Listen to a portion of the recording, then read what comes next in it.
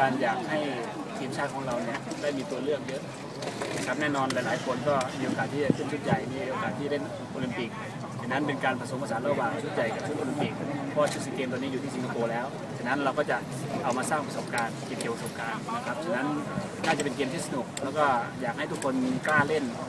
นะครับ เพราะว่าฟุตบอลไม่หนีกันหรอกนะครับนะถ้าทุกคนช่วยกันเล่นช่วยกันไล่นะครับมันก็สู้ได้ก็ยังจำไม่เคยได้กับเดียว ครับก็ตอนนั้นเนี่ยก็เหมือนกับเป็นเจ้าบุญทุ่มของกองผิดเหมือนกันนะนะตอนนั้นมีจานฟรังโกโซล่านะครับมีดิ มัตเตโอนะครับ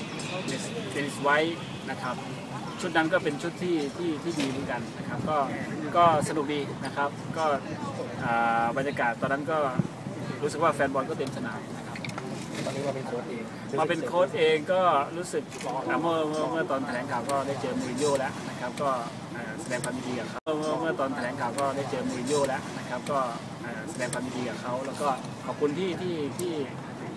มองประเทศไทยเป็นประเทศแรกที่มาฉลอง แต่เราก็จะเล่นบอลในสนามก็คือเราต้องจริงจัง นะครับ ส่วนจะผลจะเป็นยังไงเนี่ยก็อยากให้แฟนที่มาชมมาเชียร์ได้เห็นลีลาของทั้งเชลซีของไทยด้วยนะครับ ว่าสามารถต่อกรได้กับนักเตะระดับโลกได้ขนาดไหนนะครับสั่งไปอันนี้คงไม่ได้จับตายใครนะครับ เพราะว่าแต่ละคนก็ฝีไม้ลายมือทุกคนนะครับ ก็คือให้ดูตำแหน่งตัวเองเป็นหลักนะครับใครมีหน้าที่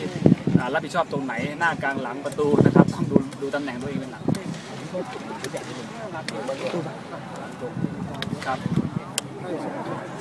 อ่าอินโดกับไต้หวันจริงๆ แล้วนี่อินโดเขามีปัญหาภายในอยู่ อินโดเราก็คงจะไม่ได้ดู